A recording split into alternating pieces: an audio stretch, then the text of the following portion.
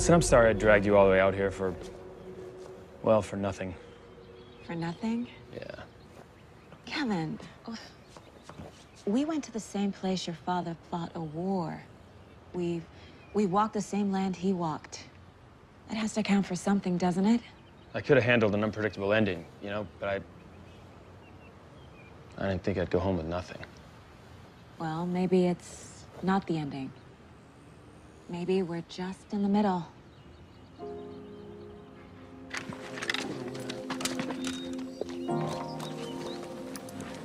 Yeah, see my brother? Negative, sorry.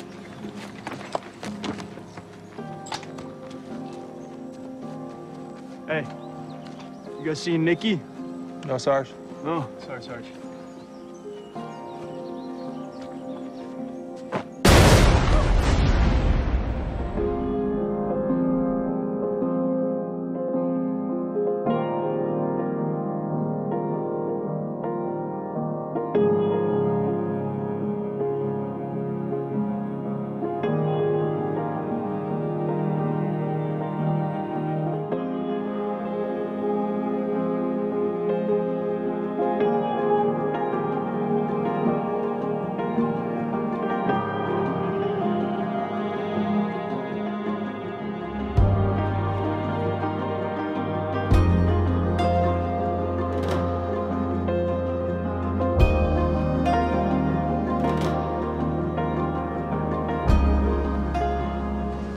Ready? You let your mom know we're on the way? I'll call her from the car.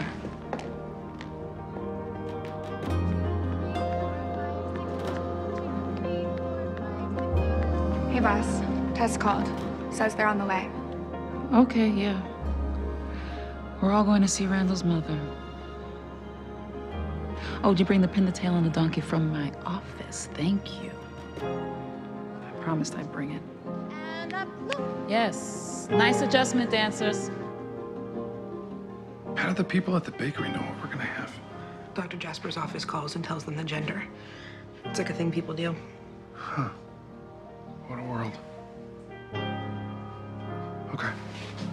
Okay. Ready?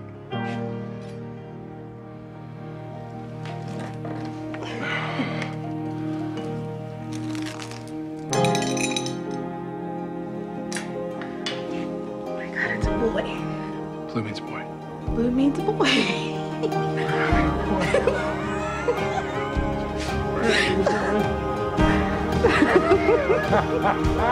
Reload, what happened? A boat exploded. I think one of our guys was on it.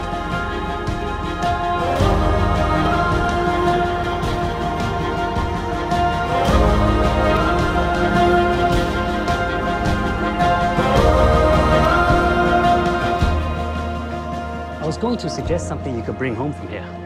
Perhaps to lay on your war memorial for your uncle one day. But I must have misheard, because none of your family died in the war. My uncle Nick did. He died over here in the war. Hmm. Hold on a second. What, what's, what is, hmm, what's hmm mean? I went to a database for the war memorial. Nicholas Pearson, 46th Infantry. His name's not there. He might be dead, but he didn't die here in Vietnam. Not in the war, anyway.